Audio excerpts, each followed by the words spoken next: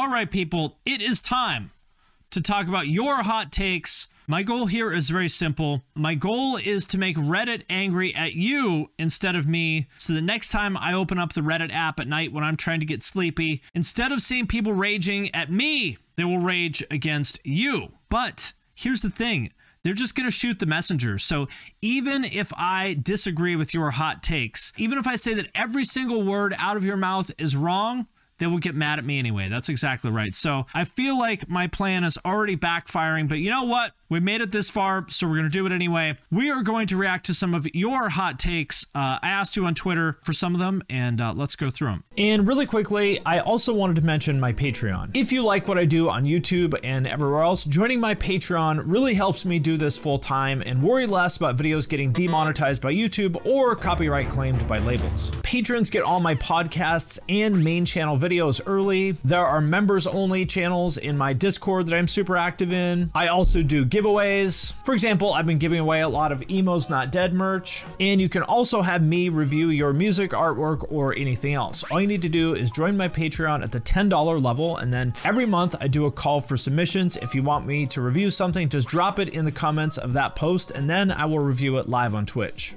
So if any of that sounds cool to you, hit the link in the description of this video, and I appreciate your support. The first one here from uh, Arthur. With their new look, Sleep Token have begun their slow transition into their true identity, Mushroomhead. Uh, okay, now if you haven't seen, they debuted their new masks. Let's see them. Here we go. Yes, here it is. This is their new look. For real, these are their new looks. Uh, their new masks. And uh, I gotta say, it does look like Mushroomhead. Uh, or maybe like Motograter. The guy in the middle looks like kind of an orc. And then I, I like this guy here on the right he has like it's like a punk jacket but instead of like having discharge and gbh and subhumans logos on it he's got like their their runes on there i don't know what they mean but uh i don't know i, I feel like the bald orc look I don't know about that. Um, I feel like they may have gone a little bit too far. This is real, yes. I feel like they may have gone a little bit too far. Here's my hope. Number one is I hope that they add a DJ. If they're gonna like do this like 2001 Motograter uh, Mushroomhead kind of thing, I think they need to add a DJ. And then they need to take a page out of another great band with masks, which is Hollywood Undead. They need to start rapping about 40s and blowjobs. That's what I hope. I hope the next uh, Sleep Token album is full of DJ scratches and bounce riffs on their Ibanez 7 string, and they start singing about getting blowjobs from scene girls in the alley behind CVS on Hollywood Boulevard. That's what I think. We'll see. If there is a God in this world, he'll make my dream come true. okay, uh, next one we have here from the Comfy Zone. This is a very hot take. Apple Music is actually a better service than Spotify, but the lack of a feature equally comparable to Spotify Wrapped keeps people from switching. Well, I'll tell you what, my friend. This is sort of in the same vein as this one here. From uh, Astronomically Stupid Idiot, this person says Burger King is better than McDonald's. Let me tell you, the reason that people don't switch from Spotify to Apple Music is very simple. I'll explain to you something about the way the world works. In the wild, there is something known as alpha, beta, and omega males. You've seen this, right? Like the pack of wild hyenas there's the one sort of outcast male that's forced to just eat the scraps that are left over from everyone else and they won't let him get too close to the pack and if he comes by any of the female hyenas they like growl at him and snap at him and then the big alpha male comes and chases him away. He just has to sort of like whimper alone like cold on the edge of the pack and hope that he can subsist on the scraps. The cuck hyena yes. You know how that works? That hyena on the edge of the pack that has to eat scraps that can't get near any of the females, that hyena is the one that uses Apple Music. that hyena is the one that eats at Burger King instead of McDonald's. That's the reason why nobody wants to use Apple Music instead of Spotify. This is the person that's the poster child for second place, right? I've talked about this person before. The person that drinks Pepsi instead of Coke, the person that plays Xbox instead of PlayStation, the person that wears Adidas, ironically, the person that wears Adidas instead of Nike, or maybe even worse, Reebok, the person that eats at Burger King instead of McDonald's. That's this person. And nobody wants to be that guy because this guy will be condemned to being the beta male on the edge of the pack the whole time. Now, it could be worse. You could be the guy that uses Amazon Music or Deezer. Using Amazon Music or Deezer, that's the equivalent of wearing like Reebok or Puma, drinking RC Cola and eating at Jack in the Box. it could be much worse. So my advice, the comfy zone, my advice is uh, immediately switch right now. When you watch this video, I want you to drop whatever you're doing, cancel your Apple Music subscription, join Spotify, and instantly you will find yourself surrounded by beautiful women that want to have sex with you. You will send me a DM and you'll say, Finn, thank you so much for putting me on the right track. I was lost. I was doomed to be a, an Omega male. You saved me. Thank you, Finn. Thank you. And I'm going to say, hey, you're welcome, man. You're welcome. Here's an interesting one from Thomas Hines. It's not the musician nerds making metal unpopular. If you ask anyone who listens to rock and pop music why they don't like metal, they will tell you it's the screaming. They never complain about guitar solos. You know, I, I think this is a fair point. This is a fair point. Let's look at an example of what he's talking about. You're telling me that normal people don't want to listen to this? You're telling me they don't want to listen to this? Fondle the foreskin. What? You're telling me that normal people don't want to listen to a band called Infant Annihilator making animal noises, talking about foreskins? What? Impossible. I thought everybody told me how great this band was. Screaming is the metal equivalent of bagpipes. Now, it, it's true, but I don't think I don't think these two things are mutually exclusive, right? Because here's the issue with metal. I've talked about this before, but here's the issue with metal. The reason why metal isn't popular is because metal bands don't want to do the things that make it popular, right? Like, obviously, normal people don't care about guitar solos. Normal people don't care about screaming. Normal people don't care about breakdowns. Normal people want something catchy and accessible that they could listen to right? Like if you think back to when metal was at its peak, which would be the nu metal era, these bands all had super catchy choruses that you could sing along to, right? Like Linkin Park was the biggest band for a reason because it's very accessible stuff. And they had a little bit of screaming here and there, but Linkin Park was a very accessible band that anybody could sing along to. Like the example I always use, my 40 year old sister from Vietnam who doesn't even listen to music. she probably hasn't listened to music in years. Even she likes Linkin Park because you can sing along to that stuff. He's trying to isolate the guitarist is the problem, but it's the atmosphere with the guitarists that keep women away. That's what it is. That's what it is. Metal bands don't want to be popular, which is fine. It's mostly the audience that's weird about this sort of thing. When you've got the metal audience both complaining that metal isn't popular and gatekeeping the shit out of anything that is on the verge of becoming maybe popular. This is what it is. And if you don't care about metal being popular, that's fine. I don't think metal needs to be popular either. Explain the Marilyn Manson mainstream phenomena because he made fucking great songs and he's a super charismatic guy. That's the reason why. It's very simple. Yeah. Marilyn Manson, like beautiful people and stuff, those are great songs, super catchy songs. It's not hard to understand. He made people pay attention to him. Yeah. I mean, of course. But nobody does that now right? The point is, like, I understand what he's saying. He's right in the sense of probably screaming is more of a turnoff. I think he's right about that.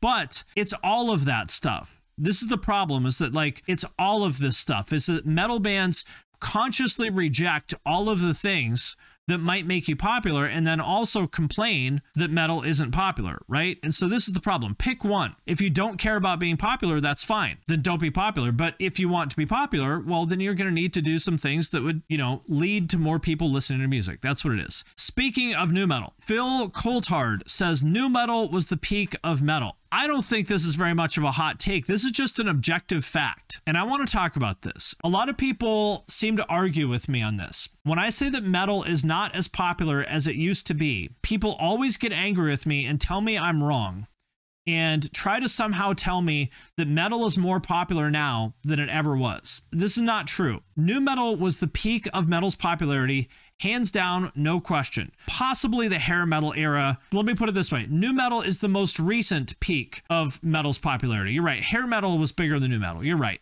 But nu metal was the most recent peak of metal's popularity. And I want to just talk about this for a minute because it has occurred to me, something very unfortunate occurred to me, which is that a lot of people who listen to metal now may be too young to remember the TRL era okay? Because if you're 23 now, you're actually too young to really remember how popular nu metal was. To give you an idea of how popular this stuff was back in the day, at one point, Fred Durst was on the cover of Us Weekly for supposedly dating, this is in 2003, for supposedly dating Britney Spears. Okay. This is like the most popular celebrity gossip magazine in the country. Britney Spears, the biggest pop star on the planet, and Fred Durst is on the cover of this magazine. That's how popular this stuff was. For anybody who doesn't know, TRL was MTV's daily video countdown show, which was basically like the most popular thing in youth culture at the time. You would come home every day after school and go watch videos on TRL, and it would always be like Backstreet Boys, NSYNC, Britney Spears, Christina Aguilera, whatever would be like in the top spot, and Korn would always get the third spot. That's right. They called it the Korn spot. A lot of the pop punk bands were on there too, like Blink 182, Good Charlotte, New Found Glory, all of that stuff. This shit was huge. And so the fact that, like, you know, Korn was losing to Britney Spears and Backstreet Boys like it is difficult for me to like overemphasize how important and like how mainstream this shit was and there's nothing like that metal there's nothing like that with metal now Okay. I think it's awesome that Sleep Token are selling out arenas. That's great. I think it's awesome that, you know, bands like Bad Omens are blowing up on TikTok. That's great. And like respect to them. I'm not discounting that. But the idea that Sleep Token is anywhere near as big or as relevant as Korn or Linkin Park or Limp Bizkit was at their prime is just it's crazy talk. It's just not true. Another example of this, look at this. Hybrid Theory is one of the top 50 best-selling albums of all time.